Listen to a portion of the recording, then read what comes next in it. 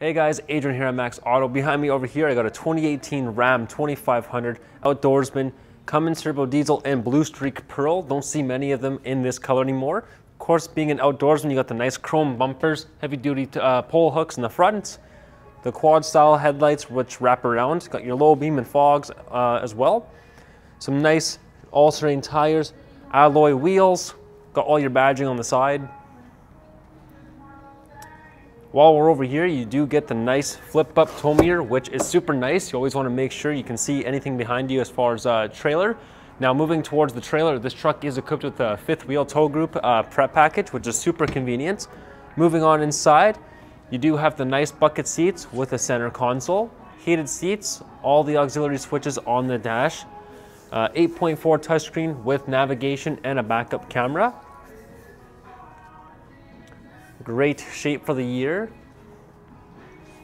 Now the truck is also a crew cab, so you do got the large rear doors, six and a half foot box with a spray-in bed liner.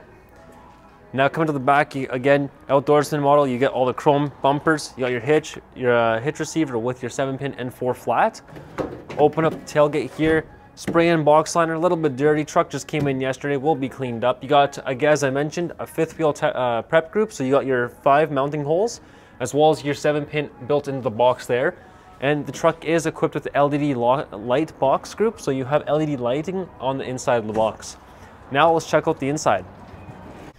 All right, guys, now moving on inside, you got the nice leather wrap steering wheel, your voice recognition controls, as well as the toggles for the seven inch display up on top which goes through all the information in the vehicle, your settings, your fuel economy, all the fun stuff. Uh, behind you have your audio controls, cruise control on this side, power folding mirrors, which is super nice. All the uh, heavy duty lineup do have that option. Also fog lights and automatic headlights over there. Moving on to the infotainment center, you got a nice 8.4 touchscreen, which is one of the largest in the class at its time.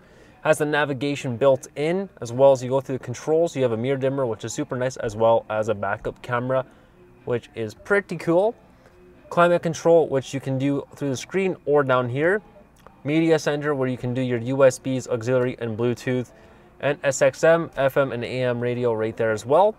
Now moving down, you got your dual climate control, so you can do yours, I can do mine.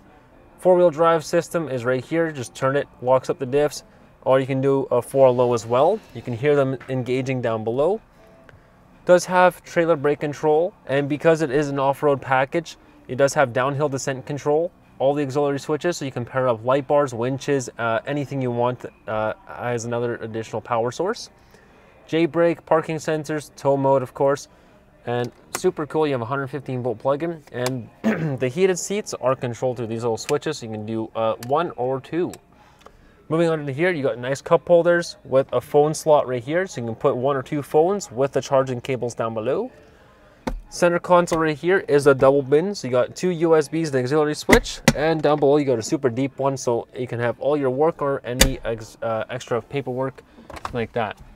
For extra storage, you have the double bin glove box where you have the top and the bottom, which has a owner's manual and the key lock box as well, or key lock, my bad.